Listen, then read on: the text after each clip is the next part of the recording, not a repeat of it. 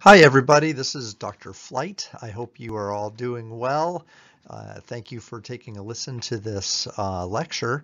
This is going to be an introduction to um, marketing channels and some supply chain ideas. And so again, this is an introduction where we're going to talk a little bit about um, the development and the management of a supply chain and specifically channel partners within the supply chain. So uh, to move right along, then, let's talk a little bit about uh, what multi-firm marketing uh, means and what a channel is all about. And so at first, what I'd like you to do is think about all the different activities that need to be done in order for a uh, product to come to market. And so uh, think about um, everything that would be involved from the raw material stage to actually producing the product, delivering the product and getting it sold. And if we put together a list of these items, we could go on and on and on for a very long time talking about all the different things that have to be done for a product to get to market. So, you know, on the screen here are just a few of the activities that are done. Some of these are done within the marketing area, but most activities are done outside the marketing area. And in fact, most activities are actually done outside of the firm who produces the product. Um, so if you think about like all these activities that have to be done, we ask ourselves who's going to do them and who is best equipped to do all of these different activities. And when we put together all the different organizations and firms and companies that we um, that, that that we associate with in in the process of bringing a product to market, that group of of of, of businesses, that group of partners, if you will, make up the collective channel of distribution and and upstream the the supply chain uh, where we get our raw materials and and things of that from. So what I want to think about is um, as we bring a product to market, think about the activities that we can do, but then also think of the activities that we can't do that we reply we reply upon others for um, within our relationship uh, network. Um, that relationship network is what will make up what we call the value chain or um, or an extended idea the uh, the supply chain. So Michael Porter came together with an idea called the value chain and basically the idea here is the value chain portrays um, a collection of activities that are done um, in order to design, produce, market, deliver, and support products. So um, if one of the goals and of the organization is to bring uh, a product to market so it satisfies a market's need or want, then it has to organize all the activities that, that we just looked at before. Um, and everybody who plays a role in producing the product and bringing the product to market has some value that they bring to the table as a result. So that is the kind of the idea of the value chain, which we're going to expand on a little bit more here in a second. A couple other terms to think about. The supply chain then is all the organizations that are involved in supplying the firm the members of its channels of distribution and the end user uh, with uh, products and services. And then finally, supply chain management is the coordination of value adding uh, flows or value adding activities uh, between supply chain members and, and different companies to help maximize the overall value delivered for a profit uh, to the to the customer. So um, so the idea then is we're going to take a collection of organizations, we're going to manage them and coordinate their activities to create value uh, and bring that value to the marketplace. If we look at Porter's five or Porter's um, value chain model, it de it's depicted in a in a picture just like this, where if we look at the at the bottom area right in here, we're going to see five different um, activities that are coordinated. So there's inbound logistics, which would be bringing in uh, raw materials and um, and and supplies and things of that nature. Operations, which might be processes that are done to raw materials or maybe uh, done to create value. So works in progress. We think of of the of the transition or the transformation of raw materials into a product. We have outbound logistics, and this may include store storing and warehousing. It may include delivery and distribution, um, things of that nature. We have the building of awareness, the marketing, the identification of, um, of, of customers, the sales aspect, the retailing, and then finally we have service. These are the five main primary functions for um, uh, the, the supply chain according to Michael Porter. There are also four support or secondary activities, one including the firm structure or the cultural elements and the hierarchy and organization of the firm, human resources, research development and technology, and then procurement, which may include uh, ancillary services that are performed that are outside of direct operations. These support activities are thought to happen all the time, and then the primary activities tend to happen in some type of a sequential order. Now, uh, you know, this, this model, Porter's value chain, um, is uh, important um, because it, it kind of describes this idea that everybody who plays a role in bringing the product to market does something to create some dollar amount or some value to the end user. So this margin we see at the very end is what's created as a result of the coordinated efforts of a lot of different firms doing these activities. Um, so, so that's kind of where the value comes in as we look to move forward. A couple things to remember as we look at this this uh, model here.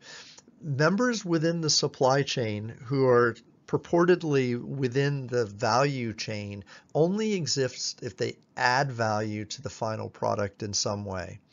If another supply chain member or another organization can perform the same job um, then what happens is the uh, original um, uh, supplier of that labor or supplier of that of that purpose um, will feel pressure to either improve, to lower their costs, to uh, do things better, or actually leave the supply chain. Um, so that happens, um, you know, from time to time where supply chains are collapsed or or made smaller as supply chain members leave and existing supply chains take over their job within within the within the uh, network of of organizations. Um, so specifically, this concept is called disintermediation or the shortening or collapsing of a marketing channel when one or more um, channel members uh, leaves the uh, the supply chain that uh, moves forward. This adds to this idea that everybody within the um, within the organization within the channel then adds value. If they don't add value they're pressured to leave or they're they you know kind of experience conflict within the supply chain that has to be resolved or managed later on. Um, one final note is that in recent years in marketing the idea that the customer themselves creates value has been adopted as well. This is generally kind of this idea of value co-creation. And so basically what we want to say is that the customer can also create value when they use the product or service that's being produced. And more specifically, that value really doesn't exist until the customer actually does use the product or service. So that's one final note to think about as we move forward. Our objective then, or what we want to think about as we kind of do supply chain or channel management is number one, we want to think about how the supply chain is designed and how that design should work within the industry that I'm uh, working within. Um, how does it move from uh, raw production or raw materials to the actual customer? Who's going to be involved with that? Um, and how is it designed specifically like that? Then finally, we want to focus on managing the supply chain, creating policies to help ensure that supply chain members do what they're supposed to do uh, to the best of their ability. So what we'll see are four different um, objectives that we have, um, you know, when we kind of think about this whole supply chain uh, management concept. One is we want to be able to manage the actual physical flow and availability of the product to the customer. We want to get the product to the customer to, through the right retailers. Uh, we want to be able to use our retailers effectively if that's what we're going to do, whether it's online or not. And just thinking about availability, we want to physically get the product moved. Um, so this might be the outbound logistics and the marketing and sales concepts in Porter's um, uh, value value uh, model that we saw earlier. Um, another thing that is kind of one of the outcomes, but also one of the things that we want to you know kind of measure objectively is customer satisfaction within the service needs. So things like installing, repairing, after product use or after purchase use and reverse logistics which might include bringing the product back up through through the supply chain with uh, with a return type of a policy. Um, we also want to think about product promotion and how our partners can um, build awareness for our brand. We want to motivate retailers and we want to have effective point of purchase uh, you know, kind of elements that are available to us. And we also need to manage the flow of information that happens between um, the producers and the market, but then also from the market up to the producers as well. That's exceedingly important um, in terms of being able to gather market data and being able to understand what we're doing right versus what we're doing wrong and what the customers like or don't like within our, with our products. So managing marketing information flow is super, super important. So these are kind of objectives we want to measure um, that supply chain management helps us kind of think about from a very broad perspective. We can narrow this a little bit more um, specifically and look at specific results that we're going to uh, be as outcomes um, when objectives like these are met. So one, obviously the increased availability of products and goods to the customer is going to be something that we'll see because that's one of our objectives that we have. Um, better customer satisfaction encouraged promotional push. So again, what we're going to do is we're going to leverage our, um, our, our partners to also promote our product and to push our product um, onto the customer, and we'll be able to see that as a result of what we're doing. And also finally, or in addition, um, again, a flow of information between the firm and the market and the market and the firm. Additionally, we're going to observe a cost effectiveness. So in other words, um, as we do our operations, we're going to see um, that the that that our costs will go down to do business, and the process cost of producing units of good will go down because our partners are taking on more um, active roles in uh, bringing the product to market, and we're also forming better relationships with them. Um, this will also allow us, or better management of our supply chain also creates more flexibility. It allows our firm to be more nimble. So if we had to change and react quickly to market forces, uh, a good, well-managed supply chain allows us to do that. Uh, it leads to a competitive advantage. So if we are managing our supply chain better than our um, competitors, then we'll be able to gain an advantage over them. So that's actually a big, big, big deal. And then finally, a reduced amount of risk that we expose ourselves to if we have a failed product or a failed market uh, product launch of some type. We're not the only ones suffering that loss. There are others in the supply chain that are too.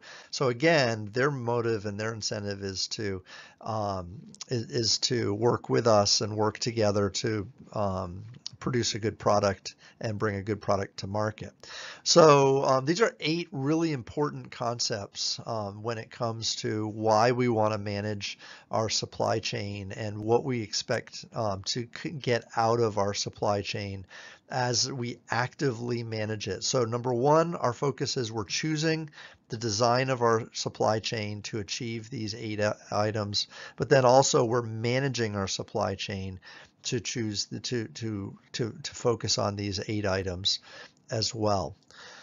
So um, supply chain management then has a lot of different nuances and elements to it. There's a whole course in supply chain management, and, and there are actually um, little mini certificates and degrees in supply chain management. So it's a really big area. It's not small and it's not limited to marketing, of course. A lot of supply chain and, and uh, channel management concepts come from management and specifically come out of operations management.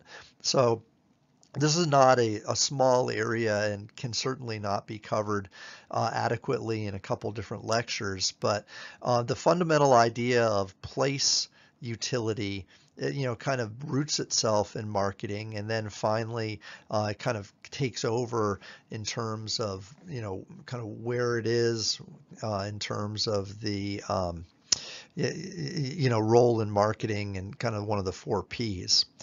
So as we move forward anyways, um, I want to talk a little bit about um, managing and controlling the supply chain.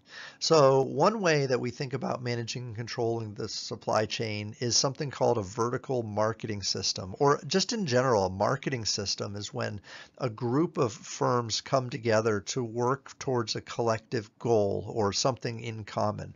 So um, in our literature, we've talked about marketing systems and specifically we talk about vertical marketing systems as opposed to horizontal ones where one member of the supply chain will exert pressure or control over other members of the supply chain. And so when one member of the supply chain acts as a channel leader or the or the um, the the the the uh, the pioneer, the chief of the of the of the system, they will look to manage and and pr produce some type of pressure or force or power on the other channel members. Um, so some ways that marketing systems emerge um, are either through corporate contractual or administered virtual marketing systems. A corporate vir- virtual marketing system is when a channel member has an invested um, uh, component in other members of the supply chain. So they may actually buy or uh, purchase a supply chain member who is either upstream or downstream. So we sometimes call this a backward or forward vertical integration. Um, if one company buys the this the, the a channel member that's either upstream or downstream. A contractual VMS is one where we use a contract of some sort to control the behavior of other members within the channel channel organization. So the um, the classic example of, of the contractual VMS is a franchise, franchisor, franchisee kind of relationship where one channel member um, has a has a contract to behave very specifically toward another channel member. Administered VMSs are more loosely developed or formed, um, but they can include um, things where um, where uh, the, just the sheer size or the power of one channel member makes them the, the boss or makes them the controller. Um, and so um, you know, by virtue of being in, say, for instance, Walmart's um, uh, channel channel, you know, kind of organization. Like Walmart's so big, they exert so much power, they tend to be sort of the boss of that channel um, and they administer the rules and the regulations associated with their channel. And so if you want to be a part of their channel, if you want your products located in Walmart, you kind of have to, you know, obey what they want or follow what they want in order to be be part of part of what they're doing. Okay, so this kind of leads to this idea that when we do VMSs or when we have a channel captain who's the boss, um, then um, we're, we're, really focused on two ideas. One is channel power, and then the other is going to be channel conflict. So channel power then is the degree in which any single member of the marketing channel can and does exercise power or influence over other channel members. Conflict happens when we have disagreements among members in the supply chain and the relationship that they have becomes strained um, or maybe even falls apart as a result of that tension or that uh, disagreement that they're that they're having. So the idea then of channel channel power um, is is something that we'll look at a little bit more. There's actually different forms of power um, that are that are um, you know offered here. Coercive power is power when an implicit or explicit threat um, that the channel captain can make uh, in order to impose some type of consequences on channel members if they don't if they don't uh, obey or they don't um, you know come come through with with what they're supposed to do. So when the channel captain then makes threats um, that will either impair the um, the recipients or the other channel members' uh, ability to do business or their profit margin or share or something to that effect, um, they'll force um, they'll force channel members to behave. Reward power is very different, uh, where reward power occurs when um, a firm can't bypass a channel um, and uh, where there'll be conflict involved.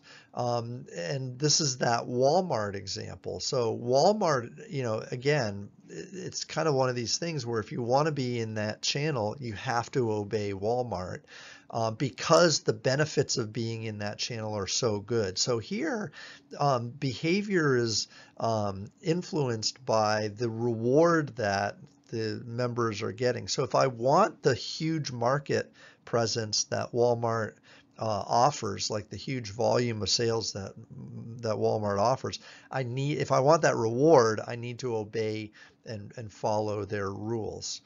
So it's not so much that there that Walmart is is saying, um, you know, is is making me do it. But if I want the benefits that they're willing to offer me, then I have to obey them and kind of follow what what their expectations are. Um, expert power. So this is a, this is a one where uh, we want to be in a in a particular channel because somebody in that channel is uh, viewed as um, the best or a, a leader um, or something to that something to that effect. So uh, channel members again, um, you know, they're they're using some type of like they're the best at doing something, um, and I want to be part of that channel because they're the best, and uh, having them aligned with me uh, gives me more credibility or something something to that effect. Uh, referent power or referent powers when channel members respected, admired, or revered based on a number of different attributes. Um, we That's obviously a, a, good type of thing that we want to be able to uh, be, be able to have. Um, with with referent power then and then finally legitimate power um, is one that's contract based, that's more from a legal perspective. One member has to obey another member in order for that um, that that process to work. So um, again, uh, lots of different power dynamics here. textbook uh, goes over these in detail, so you should take a look at those and specifically um, and uh, learn a little bit more through through that. Um, two more concepts that we're going to walk through that you may be familiar with because you often see this in uh, principles of marketing type of class. We're going to talk about push and pull strategies. And so push and pull strategies are sometimes um, uh, dealt with and kind of worked through in promotions management, but you can also look at them in um, here in supply chain as well. So we want to stimulate demand for our product. And if we have a strong um, supply chain, then we can use a push method.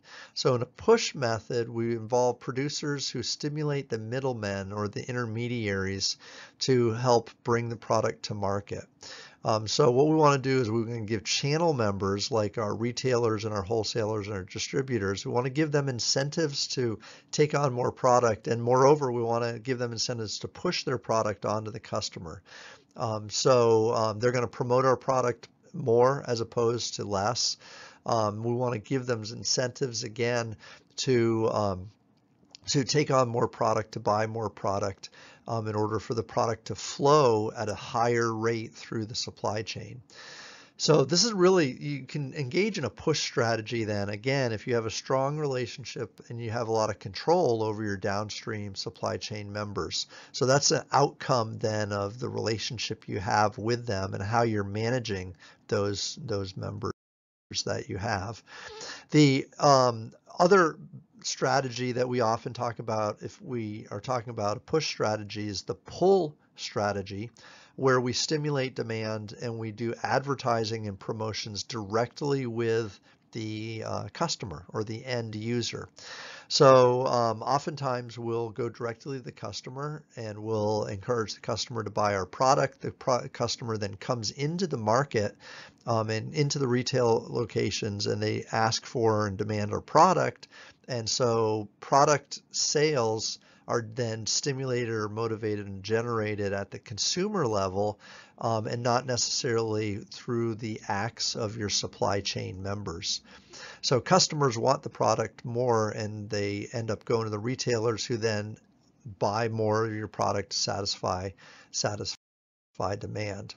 So that's a push and pull strategy. And here graphically is uh, are, are, these two strategies um, where uh, you can see sort of the general direction of um, you know of, of, motivation where we're going from left to right in a push strategy and we're we're specifically using channel members to uh, push our product onto the end users. In a pull strategy, demand is coming from the end user first, who then asks for and demands um, you know greater greater product from our channel members um, directly. So the push strategy though is something that you can engage in if you have strong inter-channel relationships um, and you're managing your supply chain well and maybe that if you have a lot of uh, power uh, within the supply chain. The pull strategies used primarily using promotions and advertising you know as a as a tool to uh, generate interest for your product with the end user. So the two strategies are actually results of two very different underlying concepts with within marketing and where your strengths might be. If you don't have particularly strong um, de demand or strong relationships with your customer, with your with your supply chain members, uh, like and you're not managing your supply chain well, or maybe you don't have a lot of power in your supply chain, you're probably going to use a pull strategy. Um, otherwise, you'll use a push strategy to try to generate interest for your for your product. Okay, so this wraps this up. Um, we've spent a little bit of time introducing the concept of supply chain, supply chain management. Just as, again, as an introduction, we talked about um, Porter's um, value chain model and different various outcomes that we want to achieve as a result of a well-developed supply chain and channel design. All right, thanks. Uh, let me know if you have any questions and uh, appreciate you listening.